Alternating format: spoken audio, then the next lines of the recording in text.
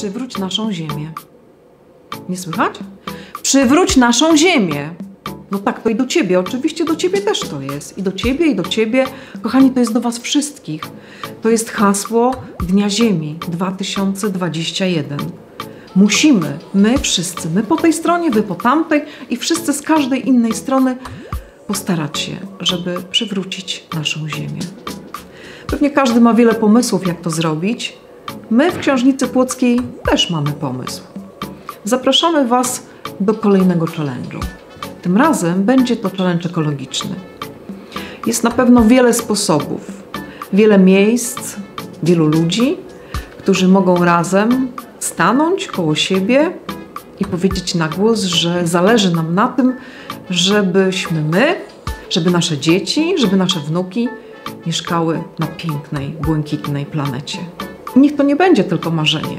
Niech to będzie tak naprawdę nasza rzeczywistość nasza przyszłość. Ponieważ to nowy challenge, to trochę rozpoczniemy od nas samych. My w Książnicy już trzeci rok realizujemy kampanię ekologiczną Czysta Karta, ale mamy jeszcze naprawdę dużo do zrobienia. I najlepiej zacząć od siebie, więc my zaczniemy od naszego ogródka, a właściwie od naszych ogródków. Bo w Książnicy są trzy ogrody. Jest ten przy ulicy Kościuszki 6, jest ogród przy Chotomku mm, i jest ogród przy naszej filii numer 9 w Imielnicy. I tam ekipa Książnicy ruszy. Ruszy po to, żeby no, uporządkować może nie, bo one są piękne i są uporządkowane, ale żeby uczynić je jeszcze bardziej przyjazne. Przyjazne chociażby pszczołom, więc zasadzimy różnego rodzaju rośliny, takie rośliny, które owady lubią. Postawimy miseczki z wodą dla jeży, bo jeże to bardzo pożyteczne i piękne przy okazji zwierzątka. No i rozejrzymy się, co jeszcze możemy zrobić, żeby z tych naszych ogrodów szło dobro na planetę, oczywiście na całą planetę. Będziemy relacjonować wykonanie tego zadania, ustawiamy sobie czas do końca kwietnia.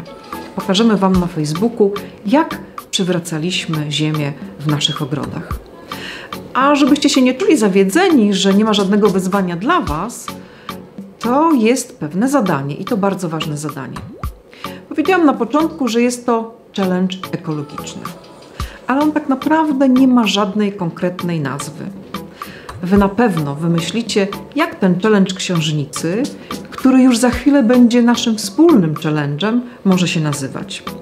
Piszcie do nas, dzwońcie, mailujcie. Każda droga kontaktu jest bardzo dobra. Zatem czekamy na nazwę, a tymczasem my wybieramy się do ogrodu, żeby go porządkować i żeby przywracać ten nasz kawałek ziemi, tej wielkiej ziemi. Zatem do dzieła.